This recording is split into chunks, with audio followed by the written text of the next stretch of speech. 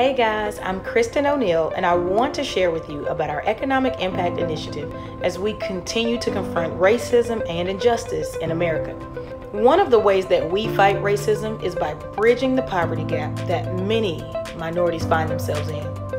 Now, we understand that in a COVID 19 culture, that businesses all over the country are hurting, but we specifically want to talk about minority owned businesses.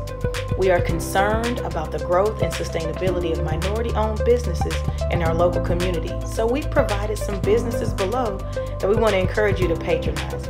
If you are an owner of a minority owned business and would like your business listed, please feel free to click on the link available on the page. Thank you for helping us make a difference.